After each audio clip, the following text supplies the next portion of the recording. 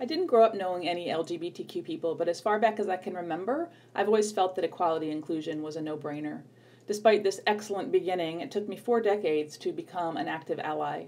When I was 40, I was in bed reading the book Not for Ourselves Alone, which is about all of those amazing women who went before me and fought for my right to vote. I'm holding it here in the photo. As I was reading, I was doing that thing that I always do when I read history. I was putting myself back in that time period and wondering how I would have behaved if I had lived back then. I had convinced myself that I would have been fighting right alongside Susan B. Anthony and Elizabeth Cady Stanton. And then it hit me with a hypocrite I was being. I've felt strongly about LGBTQ rights my entire life, and I hadn't done a thing about it. Here I was fantasizing about how I would have behaved a hundred years ago, and I had civil rights fights happening right now in my lifetime that I was doing nothing about. There was one passage that really struck me in the book. Um, although Susan B. Anthony was the spokesperson for the suffragette movement, Elizabeth Cady Stanton was the writer.